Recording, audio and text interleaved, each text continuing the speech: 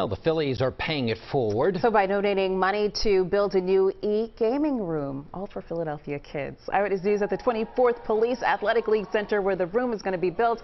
Major League Baseball giving the Phillies $25,000 to spend on an enrichment project in the community. And Phillies Charities Inc., they are matching that grant. Mm, good stuff there. Yeah.